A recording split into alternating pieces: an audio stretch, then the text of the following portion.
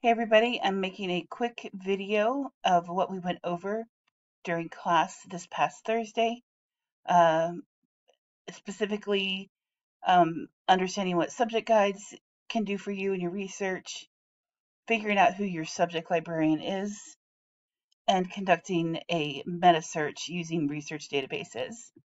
So first things first, we're going to look at subject guides. So what we'll do is from the library homepage, library.gmu.edu. We'll click on the blue box that says Subject Guides. You'll see that they're organized by topic.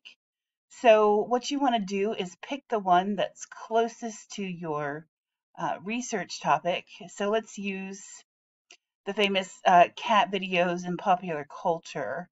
Um, I'm thinking that mine will probably be under Communication, Film, and Media Studies. So I'm going to select that. And there are a bunch of different options here. I'm going to go ahead and go with communication. And just to kind of point out, um, all of these subject guides have the same sort of look and feel to them. So no matter what your topic is, you'll be able to navigate um, through this left-hand menu bar, um, specifically uh, find articles for this particular class. And I'll show you that feature in just a minute. But what I do want to point out is um, that if I, you know, wanted to make an appointment with the librarian in charge of communication, I would reach out to Trevor here. And there's a blue button that says I can email him. Um, so I could do that. Sometimes you'll see a schedule appointment um, button, so you could make an appointment that way. But either way, I do encourage you to reach out to your subject librarian. Um, he or she or they um, can help you in a variety of ways. Um, a lot of them have master's degrees in their respective areas, in, in addition to a master's in library science. Um, and sometimes it's helpful to um, to bounce ideas off of, of someone else besides me, but of course, I'm always willing to help. So let's shift focus again back to the Find Articles tab.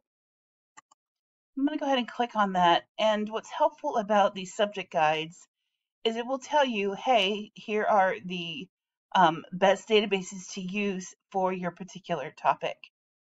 Um, and it might also include specific journals that you can use, but for the purposes of your research proposal, um, I suggest going straight to the subject databases um, you already have looked in Web of Science and ProQuest Central, and now might be the time for you to start getting into these specialized databases. And the reason for this is that the two you've looked at already, Web of Science and ProQuest Central, those are multidisciplinary databases. So they take a really wide approach to um, information indexing. And these databases, the ones that are more specialized, go uh, not quite as wide, but further deep. So the further you can move along in your research, the more specialized the tool you want to use will be. So let's um, think about this for a second and um, let's go ahead and get into our first database. And if you're off campus, you'll be asked to authenticate via your Mason email username and password. And here I am, the database Communication and Mass Media Complete. And if you think back to uh, your prior assignments where you're asked to consider stakeholders, um, you know, think about when we worked on our keywords, used our grids to kind of map out um, perspectives and stakeholders. Um, we can see how sometimes you'll have a topic that's multidisciplinary in nature. So you might not want to just choose one subject area, but you might want to choose, you know, two or three. So thinking about the context of our research question is, which is how cat videos shaped popular culture um, in the United States? I might want to kind of move beyond communication and mass mass media. I still want to search it, um, but in order to save time, you can grab all those perspectives at once by doing this. Clicking on this blue text that says choose databases. And so you get a pop-up box, and this is a list of everything we subscribe to um, under the EBSCOhost platform. So this is this sort of green and blue look that you see here. Um, so just kind of looking at it, I'm going to um, pick perhaps psychology area. And also I might be interested in, um, might be interested in business. Remember, um, social media is a business. And there might be a couple of others, but this is just an example. Now I have three databases selected. And if you're unsure of what's included in a particular database, um, computer and applied sciences, something I might want, but I can always check by clicking on that arrow key. It'll tell me what's included in that particular database. So now I have four completely different perspectives. Um, hopefully I can find information related to my particular topic. So I'm going to click OK. And now you can see by clicking on Show All that I'm searching in four different databases so I can get um, a deep result set, but from a variety of perspectives. Here you would just enter your keywords as, as necessary. Um, click on that limit for scholarly peer-reviewed articles, and then also remember to limit your dates um, as appropriate. Now we're looking at the ProQuest platform. And, um, you know, we talked a lot about the tools being very similar on these databases. You just have to know where to look for them.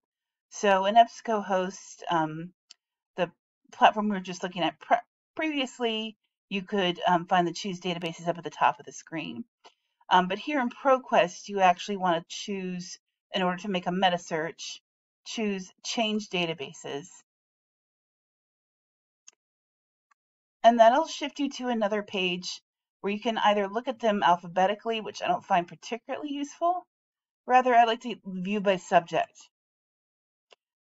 And so that'll tell me, okay, you know, which which um, disciplines do I want to dive into? Uh, right now, I'm just in ProQuest Central, which is multidisciplinary.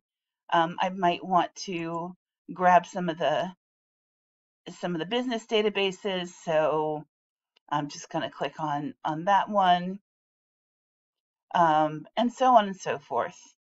You know, just pick and choose what you want. You can also um, select specific ones rather than the entire subject area. And then you'll use selected databases.